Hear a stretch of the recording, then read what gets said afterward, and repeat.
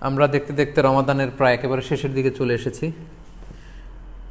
অল্প কয়েকদিন পরেই আমরা ঈদ উল ফিতর উদযাপন করব ইনশাআল্লাহ। যেহেতু রমাদানের একেবারে শেষের দিকে আমরা এসেছি, জাকাতুল ফিতের বা সদাকাতুল ফিতের আদায় করা আমাদের জন্য আবশ্যক। তো এই সদাকাতুল ফিতরের ব্যাপারে আমরা এ পর্যায়ে সামান্য কিছু কথা বলতে চাই। প্রথমে বলব যে সদাকাতুল ফিতর আদায় করা কি? সদাকাতুল ফিতর আদায় করা হচ্ছে ওয়াজিব। কারণ সহি বুখারির বর্ণনা এসছে, আবদুল্লাহ ইবনু আমর আদুল্লাহ তালু বলেন, ফরাদা রসুল্লাহি সাল্লাহ আলী আসাল্লাম জাকাত আল ফিতির। আল্লাহ রাসুল্লাহ ইসলাম সদাকতুল ফিতিরকে এটা ফরাদা শব্দ ব্যবহার করেছেন মানে আবশ্যক, দিতেই হবে আপনাকে। আপনার যদি সামর্থ্য থাকে, এটা আদায় করতেই হবে। এটা সাধারণ কোনো দান, সদাকা নয়। এটা সদাকতুল ফিতির, এটা আপনাকে আদায় করতে হবে। ফারাদা শব্দ ব্যবহার করেছেন মানে এটা খুবই গুরুত্বপূর্ণ, এটা ওয়াজিব। তাহলে সদাকতুল ফিতির আদায় করার হুকুম হচ্ছে ওয়াজিব। এবার আমরা জানব যে কেন এটা দিতে হয়, কেন আমরা সদাকতুল ফিতর আদায় করব। সুনানে আবুদাউদের একটি হাদিসে সদাকতুল ফিতির আদায়ের দুইটি সিগনিফিক্যান্স উল্লেখ করা হয়েছে। দুইটি কারণে সদাকতুল ফিতর দিতে হয়। এক হচ্ছে তোহরাতানলি স ইমি মিনাল্লাগবি ওয়ার রফাফ আমরা রোজা রাখতে যে, যেভাবে রোজাটা রাখার দরকার ছিল, আমরা হয়তো অনেকে সেভাবে রোজাটা রাখতে পারেনি। আমরা কেউ হয়তো মিথ্যা কথা বলে ফেলেছি কেউ হয়তো অন্যের গিবোধ করে ফেলেছি, এগুলো আল্লাহ মাফ করে দিয়ে যাতে রোজাটাকে আল্লাহ তালা ভালোভাবে কবুল করে নেন। এজন্য তোহরাতানলি সায়েম রোজাদারদেরকে পবিত্র করবার জন্য এ সাদাকাতুল ফিতিরকে ওয়াজিব করা হয়েছে। দুই নম্বর সিগনিফিকেন্স হচ্ছে ওয়াতান লিল মাসাকিন মিসকিনদেরকে খাবার দেওয়ার জন্য। সদাকাতুল ফিতরের উদ্দেশ্য হচ্ছে ঈদের দিন যাতে কোনো গরিব মিসকিন না খেয়ে না থাকে। তাদের মুখে যেন হাসি থাকে, তাদের বাসায় যেন খাবার থাকে।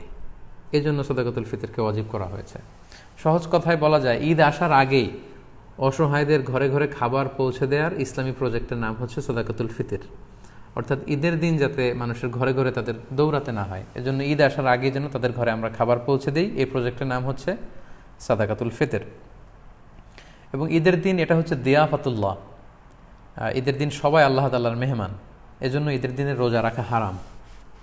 তো ঈদের দিনে যেদিন আমরা সবাই আল্লাহর মেহমান, আমরা ঘরে পায়েস খাব, ফিন্নি খাব, পোলাও খাব, মাংস খাব, আর আমাদের অসহায় সুবিধা বঞ্চিত গরিব মানুষগুলো কিছুই খাবে না, এটার নাম ইসলাম নয়। তাই ইসলাম চেয়েছে ঈদ আসার আগে তাদের ঘরে যেন ঈদের আনন্দ পৌঁছে যায়, এবং সেটার নামই হচ্ছে সাদাকাতুল ফিতর। এই সাদাকাতুল ফিতর কার জন্য ওয়াজিব? আল্লাহর হাবিবসা ইসলাম বলেছেন, মুসলমানদের মধ্য থেকে সামর্থ্যবান সবার জন্য এটা ওয়াজিব। সাহি বুখারিতে এসেছে। আবদুল্লা ইবনে আমর রাদি আল্লাহ তালাহু বর্ণনা করেন যে আল্লাহ রাসুল সাহা ইসলামের সাদাকাতুল ফিতরকে ওয়াজিব করেছেন আলাল আবদি ওয়াল হুর্রি ওয়াল জাকারি ওয়াল উংসা ও সগিরি ওয়াল খ্যাবিরি মিনাল মুসলিমিন। অর্থাৎ মুসলমানদের মধ্যে থেকে স্বাধীন কিংবা আজাদ করা দাস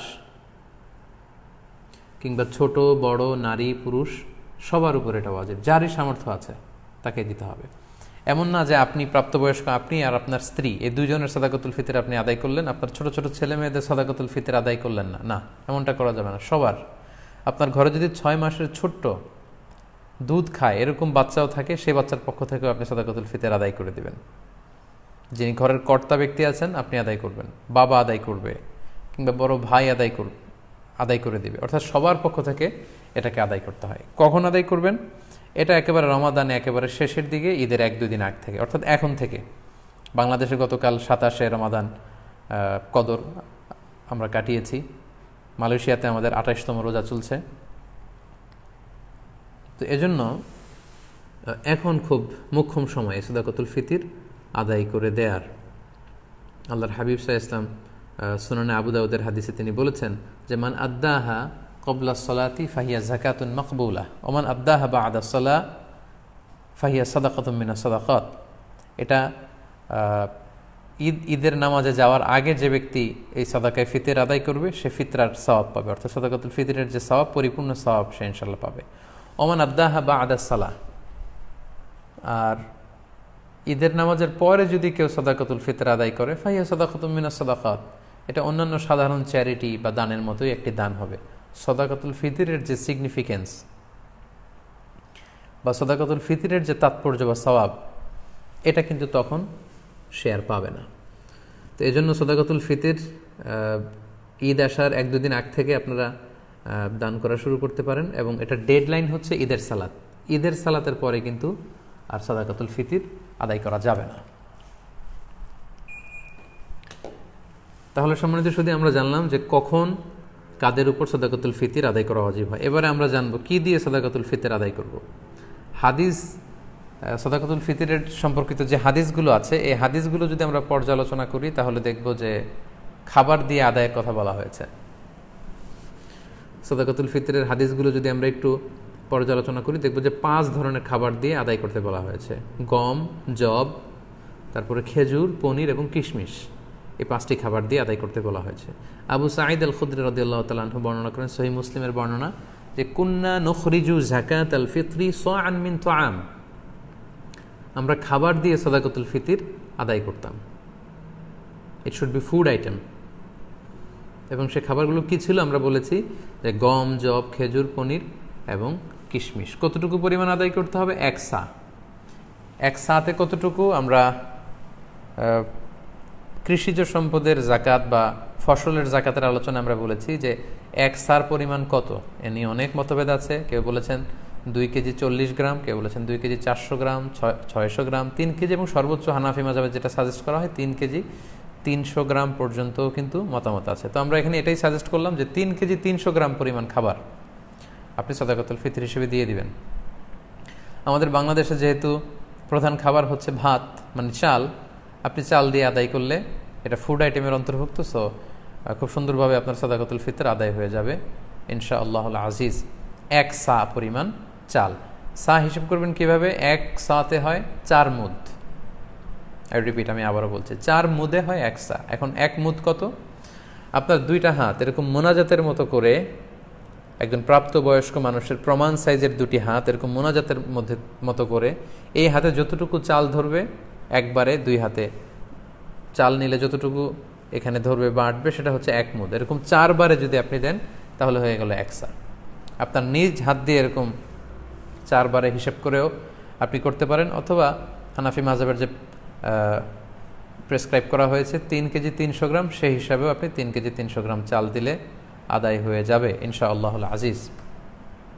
এক্ষেত্রে খুব কমন একটা প্রশ্ন যে, খাদ্য না দিয়ে, চাল না দিয়ে এরকম গম না দিয়ে টাকা দিলে আদায় হবে কিনা? এ ব্যাপারে স্কলার্সদের মধ্যে মতভেদ আছে। হানাফি মাঝহাব ছাড়া বাকি তিনটা মাঝহাবে শাফি, মালিকি, হাম্বালি, তিন মাঝহাবে বলেছে না, যেহেতু সরাসরি হাদিসে খাদ্যের কথা বলা হয়েছে so it should be food item খাদ্য দিয়েই হতে হবে। কিন্তু হানাফি মাঝহাবে বলা হয়েছে যে না, খাদ্য দিলে তো আদায় হবে, পাশাপাশি এটার মূল্য দিয়ে দিলেও ইনশাল্লাহ আদায় হয়ে যাবে। এবং শাইখুল ইসলাম ইবনু তাইমিয়া আলাইহি রাহমা, উনিও এই মতামতকে গ্রহণ করেছেন যে, ফিতরা খাদ্য সামগ্রী দিয়ে আদায় করা উত্তম। তবে এমন যদি হয়, পর্যাপ্ত খাদ্য পাওয়া যাচ্ছে না, কিংবা এদের নামাজের সময় হয়ে গিয়েছে, এখনও আমি আদায় করিনি, এখন কোথায় আমি গম পাবো, চাল পাবো, কখন মাপবো, কখন দিব, আমি তখন টাকা দিয়ে দিলাম, আদায় হয়ে যাবে। অথবা গরিবদের মাসলাহা, যেহেতু এটা গরিবের হক, এবং গরিবদের মাসলাহা যদি এখানে থাকে যে, তাদের যদি টাকা দিলেই বেশি উপকার হয়, তখন টাকা দেয়াটাই উত্তম হবে এবং দিলে আদায় হয়ে যাবে ইনশাআল্লাহ। কারণ আমরা সবাই যদি চাল দিতে শুরু করি বা গম দিতে শুরু করি, এত চাল, এত গম, যেহেতু এটা ঈদের দিনের আনন্দের জন্য, ঈদের দিন কি এত চাল, এত গম ওনারা খাবেন? ঈদের দিন হয়তো অনেক গরিব মানুষ বা অনেক মিসকিন ফকির, তারা একটু পায়েস খেতে চাইবে, একটু পোলাও খেতে চাইবে। সবাই যদি চাল দেয়, এই চাল আবার ওনারা বিক্রি করবে পায়েস কেনার জন্য। ওই চাল বিক্রি করে ওটা টাকা দিয়ে পায়েস, সেমাই এগুলো কিনে নিয়ে আসবে। তো ঘুরে ফিরে একই কথা হলো। তো এই জন্য আপনি টাকা দিয়েও যদি দেন, আদায় হবে এবং যদি গরিবের মাসলাহাত থাকে, সেটা আউলা আমরা অনেক জায়গায় শুনেছি, বিশেষ করে সৌদি আরবের কথা শুনেছি জাকাতুল ফিতরের বস্তা আছে, আটার বস্তা, এগুলো রেখে আসা হয়। গরিবরা এগুলো নিয়ে আবার দোকানে বিক্রি করে। কয়েক হাত বদল হয়ে দোকানদাররা সেখানে লাভবান হয়, গরিবরা লাভবান হচ্ছে না। আমি বাংলা ট্রিবিউনের গত বছর বা তার আগের বছর একটা নিউজে পড়েছি যে রোহিঙ্গাদেরকে যে খাবার দাবার দেওয়া হয়েছিল, এটা স্থানীয় বাজারে অনেক কম দামে তারা বিক্রি করে টাকা নিয়েছে।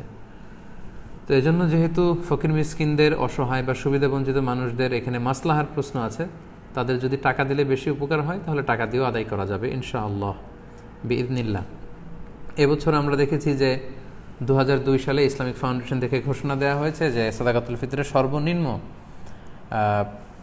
সংখ্যা তারা নির্ধারণ করেছে, ওনারা করেছেন যে সত্তর টাকা আর সর্বোচ্চ করেছেন দুই হাজার দুইশত টাকা। এই ঘোষণা দেওয়ার পর থেকে সবাই সত্তর টাকা করে আদায় করতে শুরু করেছে।